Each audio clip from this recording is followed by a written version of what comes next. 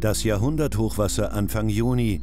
Rund 84.000 Helferinnen und Helfer kämpfen gegen die Wassermassen und verlieren nicht selten. Auch die Donau stark betroffen. Am Kloster Weltenburg sieht es so aus. Bis zu den Fensterbänken steht das Wasser. Nur mit Glück entgeht Bayerns wohl ältestes Kloster der Katastrophe. Jetzt erinnert bei schönstem Wetter nur noch die Hochwassermarke an der Mauer an die Wassermassen. Fürs nächste Hochwasser will die Staatsregierung gewappnet sein. Schon an Bord der MS Kehlheim läutet Kapitän Söder die letzte Sitzung des Kabinetts im Kloster vor der Sommerpause ein. Noch einmal will die Staatsregierung nicht baden gehen. Deshalb gibt's nochmal 130 Millionen Euro für Hochwasserschutz, aber nur bayerisches Geld. Der Bund zahlt genau 0 Euro. Wir empfinden es als Skandal.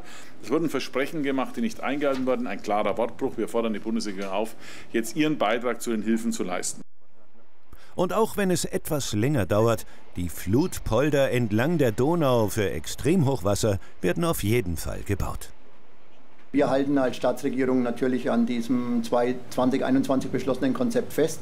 Das heißt, auch alle, alle Polder, die wir damals beschlossen haben, sind im Umsetzungsverfahren. Bis alle Donaupolder fertig sind, wird freilich noch viel Wasser die Donau runterfließen.